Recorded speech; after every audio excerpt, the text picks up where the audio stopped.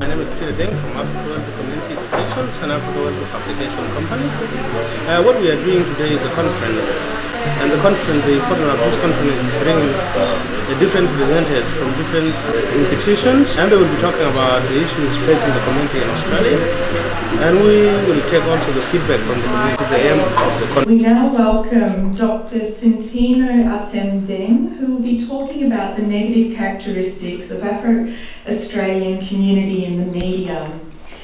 Dr. Santino Deng is an experienced counsellor, educator, researcher and trainer and has experience in mental health, settlement and family and parenting. Dr. Deng completed his PhD at Victoria University, where he investigated changes and challenges in South Sudanese family dynamics and parenting practices in Australia. His thesis examines recent transition in South Sudanese Australian parenting practices from the perspectives of both parents and youth, draw, drawing on nuanced cultural understandings and contexts to explore various challenges and transitions in parenting after resettling in Australia.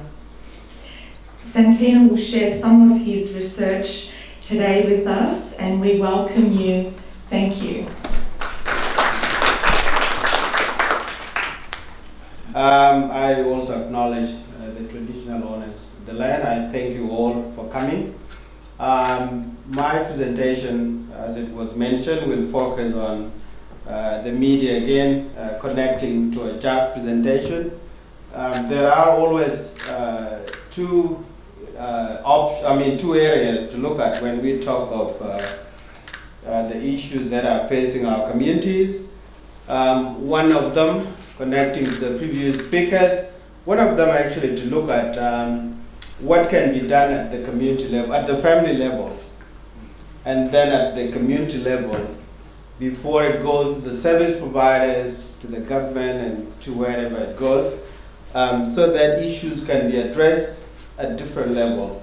Um, so that is really important to have that understanding as uh, William suggested, uh, to really have presentation uh, to the community so that they can have that visual understanding.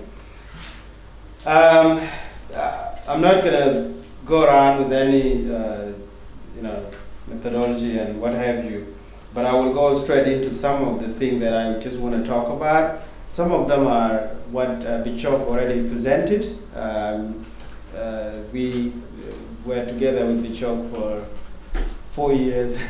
And uh, as it was mentioned in my research, uh, I mean, in what my thesis in the, in the introduction, um, my research looked at the four uh, different areas or journey, if you like, to really take me to where I would make my conclusion.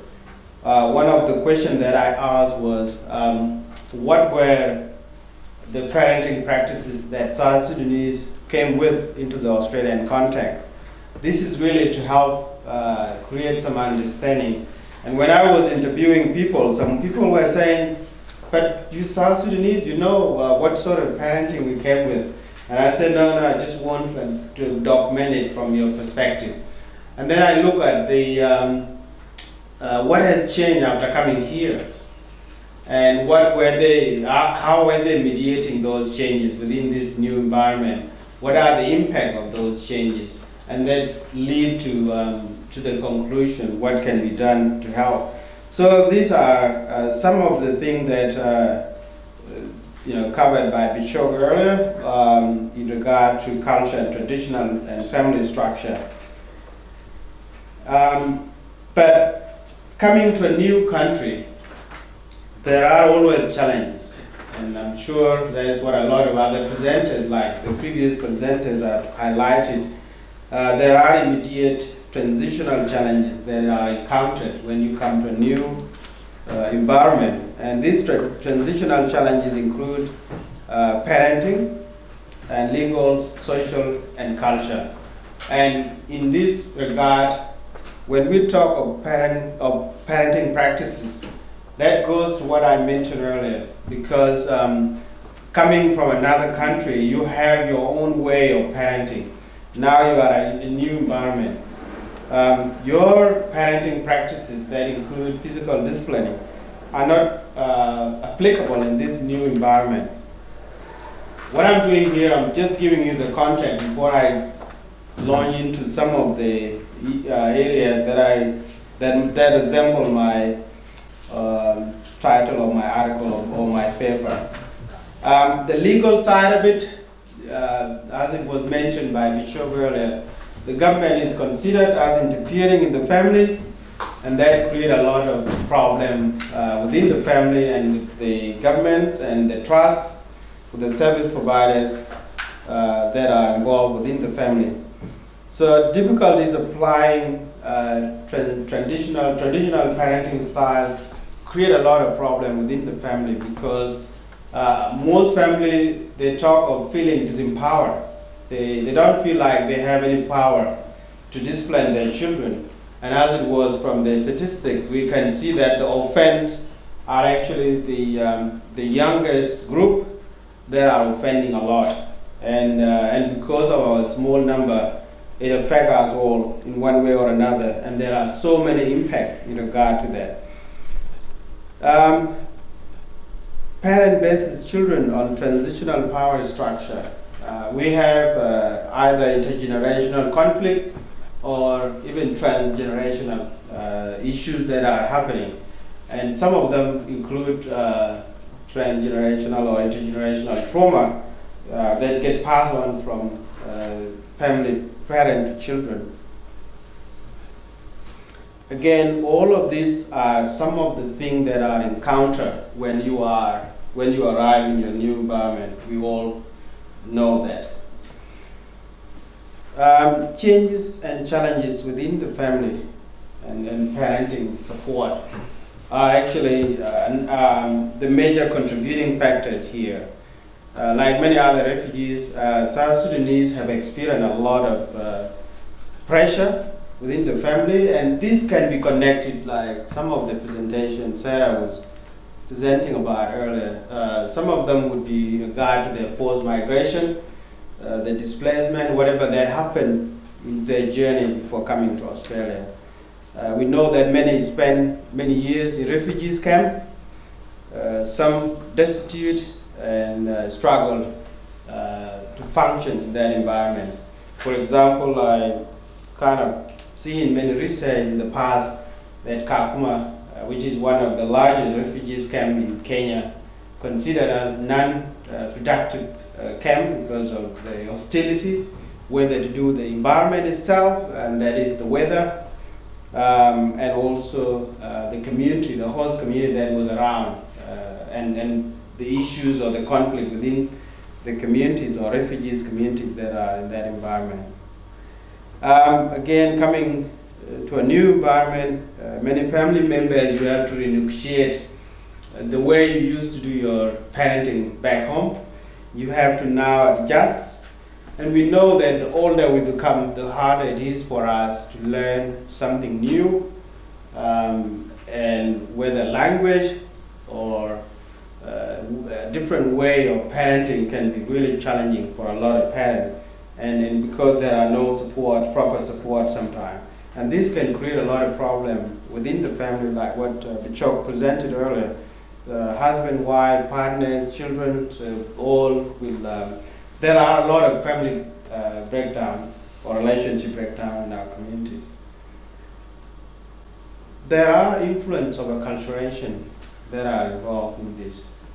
And we know that acculturation is when you are trying to make sense of uh, your new culture and or when the, uh, your culture, the way you do things, where you come from, uh, come in contact with the new culture, uh, there are always struggles in, in relation to that. Um, and these changes within the family often uh, create conflicts, as I mentioned in the past uh, slide. Changes in gender role, again goes to Bichok research. Um, I thought maybe focus on this area is really important because there are some risks and protective factors for mental health within uh, the community, within uh, generally called community, not only South Sudanese. we know that the risk factors may be to do with the uh, post uh, trauma or post uh, migration or post uh, displacement, and uh, and this can increase the struggle within your new environment. Um, sometimes the countries where people go through has some of the things that Sarah mentioned earlier uh, can be really dangerous, uh, or they might have been exposed to a lot of issues more than the journey that they left home uh, itself. Uh, some of them uh, talk about what happened to them in Egypt and some horrific stories um, that are sometimes some are documented and some are not. They, I do a lot of, I've been doing a lot of counseling with Men's Line Australia. And I know um, what is happening in the general community as well in regard to men behaviors and, and what happened. I'm not blaming men, I'm a man myself. But, um, but we know that when men are not um, contributing within the family, uh, it affects them in many ways. It can lead to domestic issues, domestic violence. It can lead to withdrawal. It can lead to mental health and so many other things. But, but the community also have uh, protective factors as well. Uh, we all have resilience. Most of us who have gone through a lot. And uh, some of us uh, either talk of our journeys, some of us didn't even talk about. I remember when I was back in New Zealand, uh, can talk about some of my journey and I can see some people getting emotional, but I'm not emotional anymore. It's because I've been talking about it and I have resilience uh, in that regard. So uh, other thing when there are material available can help in terms of being uh, protected, uh, availability of education, uh, and so many other things can help improve the life in your new environment. Uh, again, these are some of the issues uh, that are related to mental health because sometimes mental health is not something that is looked uh, closely within our community. But there are a lot of stigma uh, involved with mental health, uh, shame, uh, being seen as somebody who is mentally ill because back home someone with mental health would be considered as um, someone who is out of his or her mind or mad crazy and so many bad words uh, that really prevent people from seeking help. But again, uh, education, psychoeducation can really help um, change a lot in the community. Social isolation, um, because you end up in a community where we're becoming more individualized. I have spoken to many, uh, some older Australians uh, here, and they said the society doesn't used to be like this. Uh, we used to be much closer and we support one another, but now we just drive apart. And, and you find some people just in their own houses, not really connected with anybody. This is not something that we were used to. We come from a collectivist culture where a village would know each other. Parenting would be easier because everybody will help look after your children and you look after somebody else's children. So rearing children was very, very easy in that regard. Uh, coming here also, you don't have family members that are around you. Even if you have relatives, they might be somewhere in the eastern suburb and you are in the western suburb. You're not going to be able to support each other. Even if you live in the same suburb, you're not going to be able to support one another as well because you have to work or doing other things. Uh, lack of meaningful activities uh, can really lead to, uh, can create problem in terms of mental health.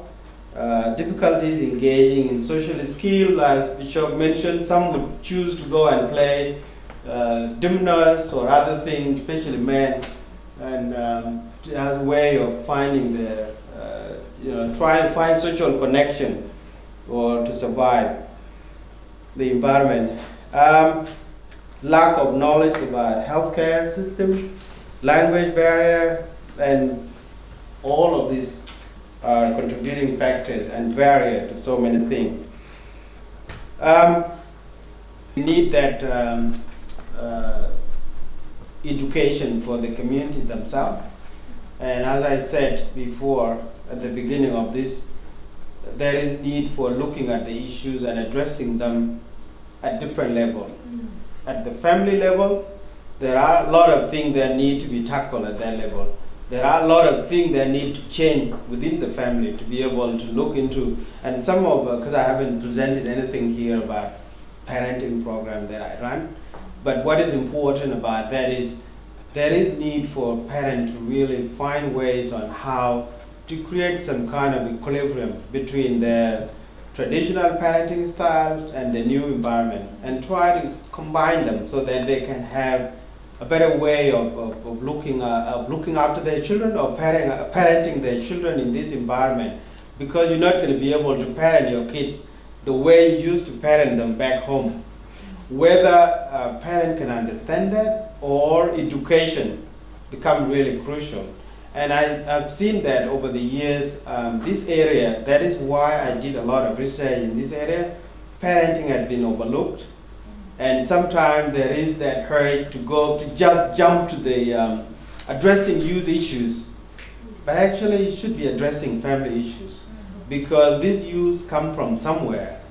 If you want to address the issues, look at the root causes, where they come from and what can be done to help the parent because the parents are not only looking after these children that are on the street today there are other young generation coming up and if we don't look into that there will be failed generation to come. So looking at the parent to help them to empower them to be able to have some tools parenting tools to look after their kids and to make sure that the other coming generation are not going to be some of the kids that are on the street today. And then the service providers also uh, to collaborate with the community and people that uh, have ideas or expertise within the community to be able to create that uh, level of support at that level, and the government as well. So there are three uh, levels. Thank you. Another Inox production. Young bullets are the girls dedicated for the mothers. Oh, on, here we go, so what? Strong mama, strong mama, strong mama, you are the strong mama. Inch away, inch and it, Kubana that booty, mama. Strong mama, strong mama, strong mama, you are the strong mama.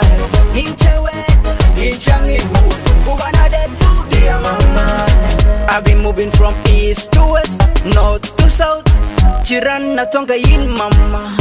You are my number one.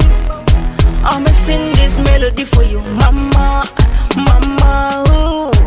I've been praying to God every day. Kubi kwan, kubi dodge. Mama, you are so good. Whoa, whoa. Mama, you are so nice. It's what me say, Mama, you are better than the race. You lead every man that come on me way. Mama, you are made me so strong. You made me who I am today. Ay, ay, ay. From zero to hero, Mama, you are made me. From zero to hero, Mama, you are made me. Shukran mama, shukran mama, shukran mama. Yeah, yeah, yeah, yeah, yeah, yeah. yeah. Oh, feel this sound. Strong mama, strong mama, strong mama. You want to strong mama? Inchawe, inchangin.